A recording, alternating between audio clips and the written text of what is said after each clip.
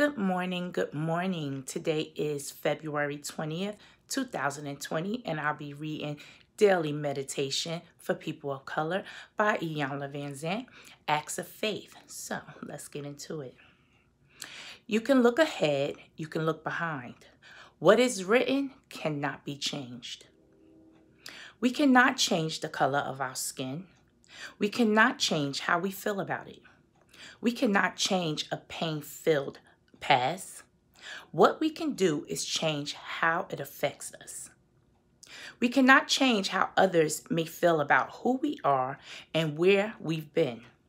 What we can change is how we see it, how we use it, and how others use it to our benefit or detriment.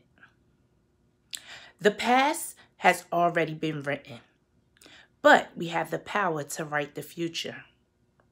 Based on who we are and what we do now. Only we can write a future based on self support and respect. We can write a future based on how much we have grown.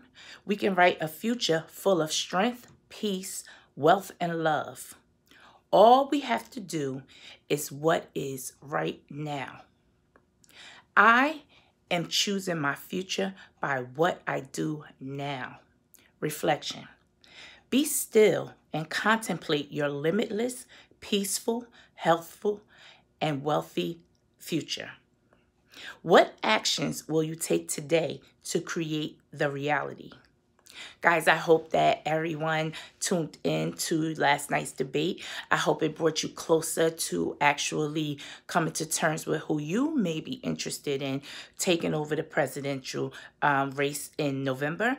I wish everyone a peaceful and a great day. And I love the fact that you guys, thank you, thank you for starting your morning off with me. Um, until I see you again, peace.